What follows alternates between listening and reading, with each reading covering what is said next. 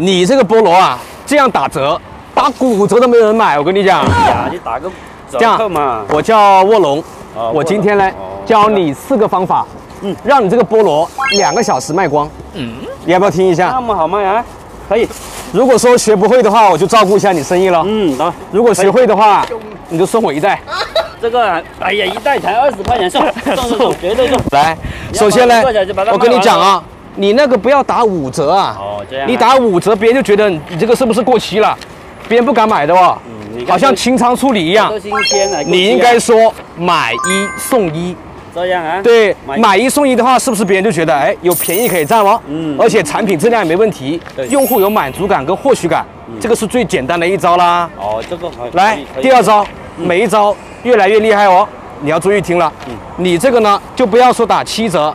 你应该说第二斤半价，第二斤半价打几折？半价也也就是五折。第二斤半价打那七五折是吧？第二斤半价啊，多少折？七五折还是多少？七五折。那七五折，哎，答对了，那个对吧？那是不是比你七折要多一点？对而且听起来也好听嘛，你还赚多一点嘛？对的。是不是你自己心里都有数？而且的话，像我们买衣服、买奶茶都有第二件半价、第二杯半价嘛。嗯。所以说，百分之八十的用户都会选择买到第二个，不然他觉得他亏了。但是如果从用户的视角来看的话，第二斤半价是不是打五折？对，但其实是打七五折，对吧？对对。来第三个，如果说有一天啊，你这个菠萝有很多车卖不出去，你应该说什么呢？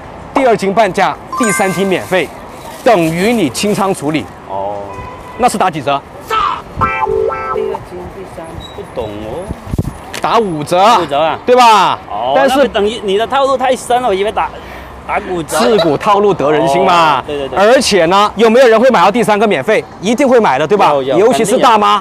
我们这都有点，有点贪小便宜嘛，对不对？哇，那卖的更快了，是不是？对对。直接卖掉。嗯。那你学了三招，我考一下你好不好？嗯。好。啊，如果说是四人同行，一人免单，是打几折？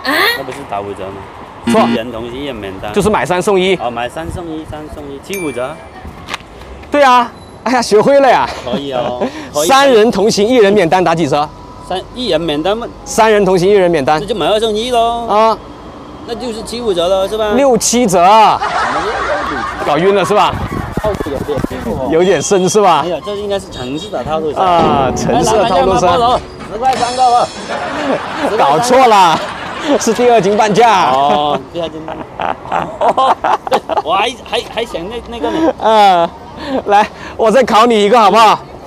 如果说有人过来买菠萝，你跟他讲成为会员充值三倍，当天免费，打几折？那个充值翻倍，啊，打个五折呗？打什么五折啊？对，是打五折。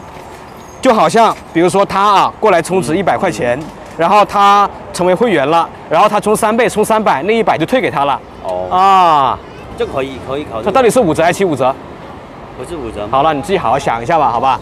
哦，这个还要慢慢跟你研究这个。学会了没有？五折的问题。学会了没有？应该要学着。教了你五招哦。买二送一那种。所以说我们做生意一定要模式先行。对对。啊，一定要懂得用什么营销思维去做生意。这样啊。嗯。要不我们这个死脑袋就是打这个折，可能没得吧？没得吧？对呀。送我一个。可以，刚才都是送这个给你了。送这么多。我明天我。今天等一下，我就改价钱。好好好，改价钱。